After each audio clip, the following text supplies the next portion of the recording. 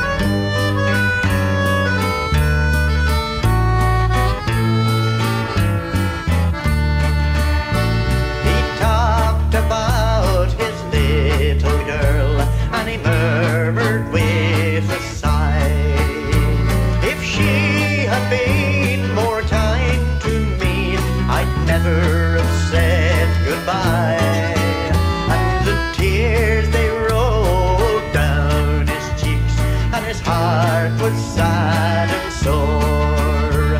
But it quickly changed to tears of joy as I heard him say.